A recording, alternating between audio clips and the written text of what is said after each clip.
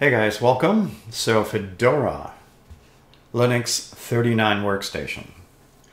So I'm going to be talking about Fedora 39. Just got released as of today, November 7th, 2023. I'm going to be talking about uh, stuff for new users and um, adding the, well, the minimize maximize button would be one. Um, I'll touch a little bit about settings and a little bit about what's uh, different for popular software packages from 39 and 38, the previous version in other words. And I'll touch a little bit about their different spins. What that means is different desktops. Uh, other desktops like XFC, you know, etc. I'll talk a little bit about the distribution itself if you're not that familiar with uh, Fedora. You know, I, my philosophy is always if you are wanting to um, test drive a thing, do it yourself. So don't take someone else's word for it. Download it and try it yourself. That's my philosophy. But today I'm going to talk about 39 and give you a couple of tips along the way. So I am filming in 1920 by 1080. You can adjust your YouTube player accordingly if necessary. So I'm going to use Alt and F4. You are watching this on Linux for Seniors. This is a watermark and it is not, um, it is blurred, yes, but it's faded out also. But if you can see this icon here in the corner, you can click to subscribe, not here. So click that icon in the corner. The only reason I left it up here is because I've seen some of my videos on someone else's channel. And more importantly, if you don't see that logo, you are probably watching that on someone else's channel. But if you want to subscribe to Linux for Seniors, again, look for that logo in the corner and click to subscribe. What do you find on Linux for Seniors? Over 260 videos on all kinds of things. Linux is for any age, and I make mention of that in my About section. So if you are a new user or new subscriber, uh, go check out my community tab and the About section. I do have some links in there for you too. So again, look for that logo. So welcome, folks. I'm going to start with this uh, distribution uh, on DistroWatch. One of the reasons that I like DistroWatch, let me go full screen if you don't mind, and I'll resize this on the fly. The one of the reasons I like DistroWatch, it puts a lot of information together, and I'm going to also talk about some more information for packages here in a second. But um, there was an update done on 11.7. That would be today's date on Fedora out of the United States. It's independent. They are owned by Red Hat. They're very large in the server community. Now, the desktop is what I'm talking about today, and the desktop specifically is GNOME. They do have other flavors. Another, another word for that they like to use is spins. They do offer a live medium, so you can test drive this. I don't use the popularity factor at all on DistroWatch. It's hard to gauge to begin with about how many people download dis different distributions. But I'm going to come back to their main homepage in a minute. But I'm going to scroll downstairs a little bit just to let you see something. Uh, a lot of you folks have been on DistroWatch before and some folks have not. I do also have DistroWatch as a link in my About section on my YouTube site. 38 versus 39. So today's version is on this one. This is the official release. This is the next one they're working on. But more importantly, this is the official released version. 39. So going downstairs where you see packages, just to give you an example how to read this, is the, um, I'll pick the first one here, ALSA lib. So the 39 has a 1.2.10 versus the 38 had a 1.2.7. Just one example of the differences in software. There might be hardly ever change, uh, no changes, but you can see there's changes in here. So these are your popular packages. I also don't use the reader viewer here on DistroWatch either as uh, influence of information about testing out a distribution. One more time, my philosophy is this. Download it, test it for yourself. Okay, getfedora.org is the name of their um, website, and uh, version 39 was released today, November 7. So this is the workstation. If you want that, you download that. It is a GNOME desktop. It's roughly 2. Point, uh, I believe it's 2.1 gigabytes, and it takes uh, under 10 minutes to install. The default um, file system is BTRFS. Also have servers and other stuff. If you want different spins, or another uh, word for that is different desktops, there's Plasma, XFCE, Cinnamon, Mate, and etc. Lots of different flavors. Okay, check it out for yourself at fedoraproject.org. I'm going to use Alt and F4 to close that. All right, so I'm using VocoScreen to record this video. Not a big deal. And you can see that I'm filming in 1920 by 1080. So when you are uh, setting up Fedora 39, you are asked for a user and password, of course. And then just before you click that, though, if you are logging in and out, you can actually change the Wayland desktop to the X11. All you do is click on your name and look for a tiny gear here on the right-hand side corner and you can click that to change the desktop. Now a couple of shortcuts we have here, the Firefox web browser, a calendar, and I can go full screen and more importantly I can also do it that way. I'm using a standard computer mouse, not a touchpad.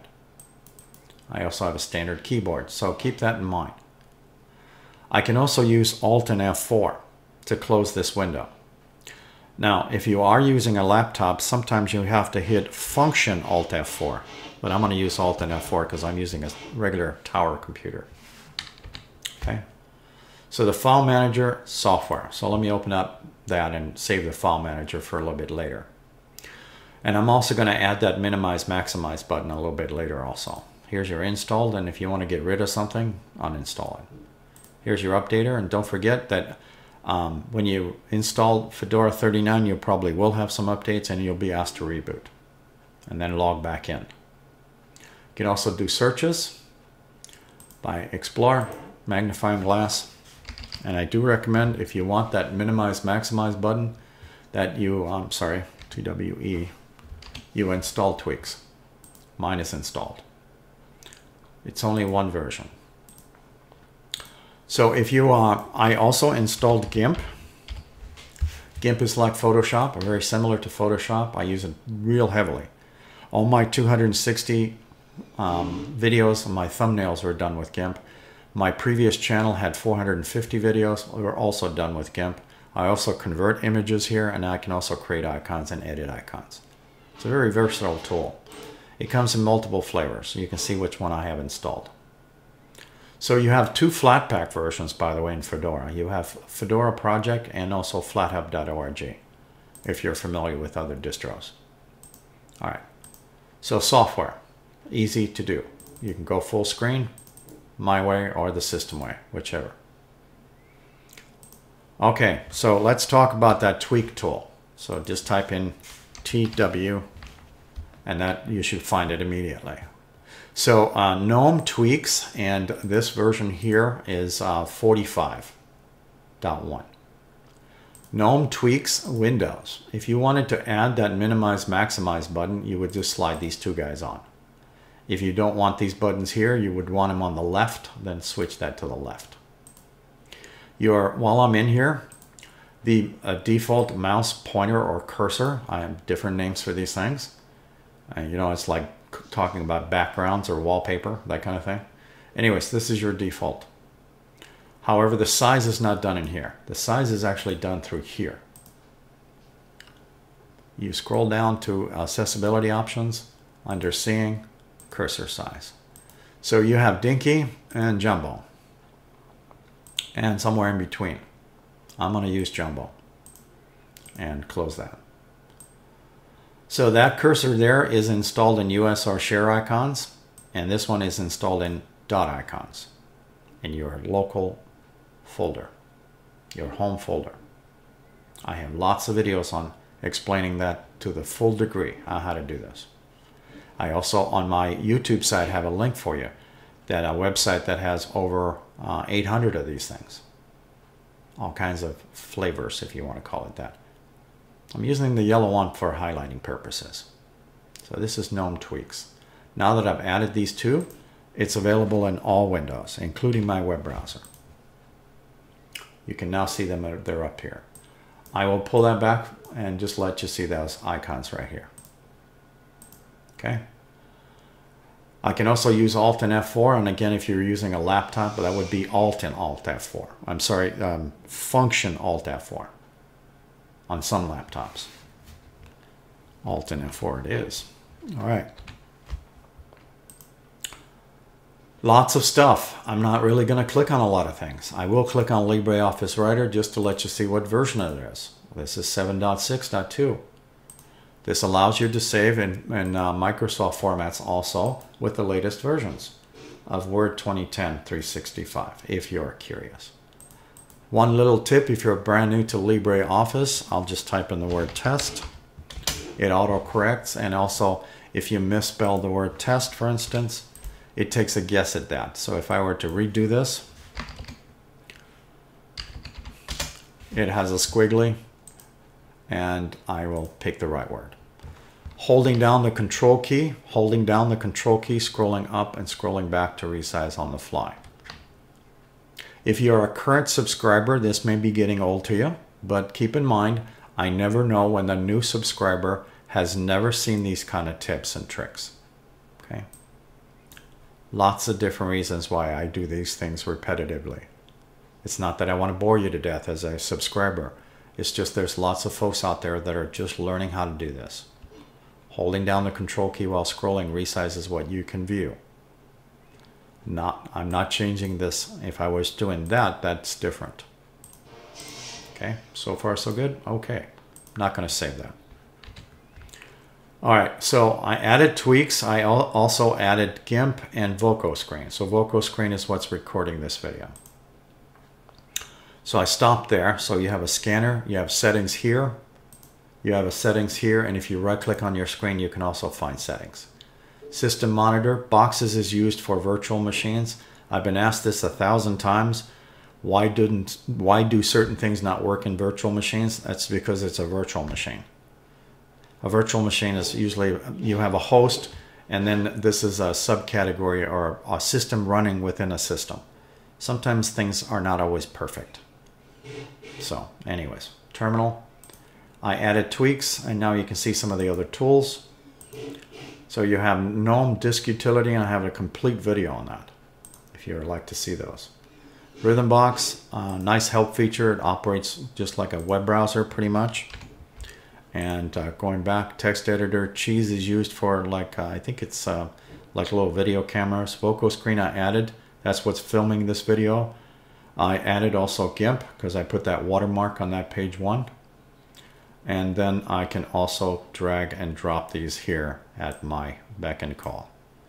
You can also rearrange the furniture. Okay, so far so good. And you can certainly type for things you're looking for. I'm to hit escape and escape.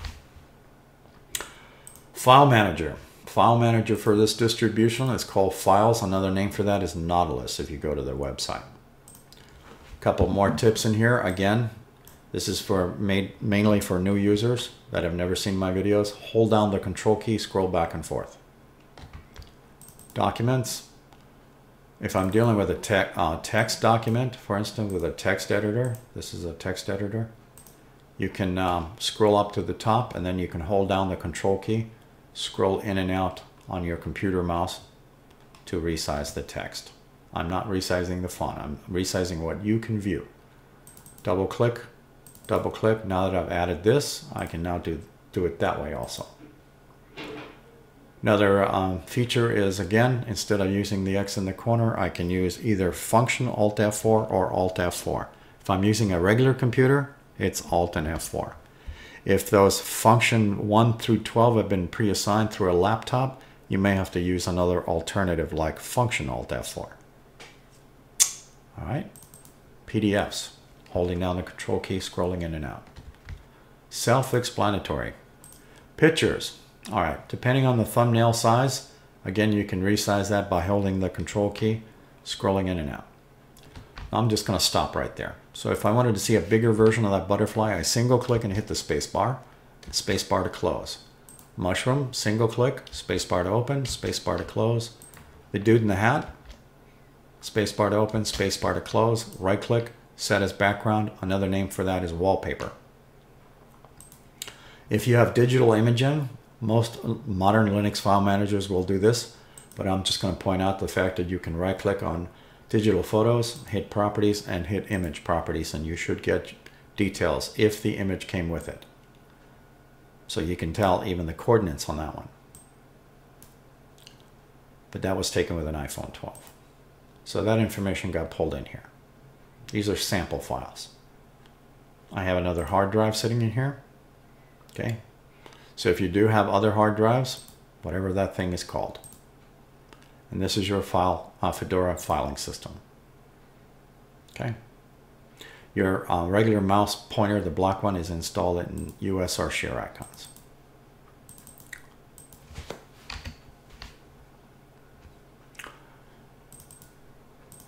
It's this one right here. I'm going to open up tweaks for a second. Just to give you the reference of which mouse pointer I'm referring to. Now you can see the name of it. It's this one. Okay, File Manager. Control H.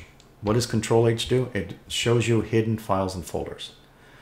I right clicked and created this folder called dot icons or period icons. Whatever name you want to give it, it's a hidden folder. Starts with a dot or a period. It's called radioactive. That is what that is called. And it's the only one installed in there. Control H is very common. Control C for copy, Control V for paste. So if I were to grab a picture, right click, Control C, copy.